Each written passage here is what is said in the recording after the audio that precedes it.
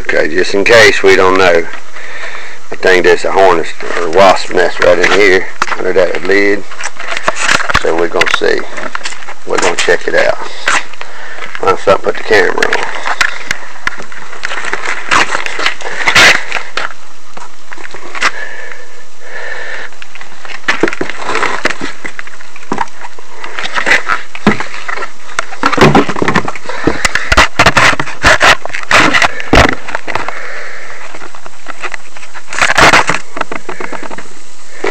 Alright. This is this is uh, here, Mr. Steele. Why I ain't your house right now? I'm out here fighting this kind of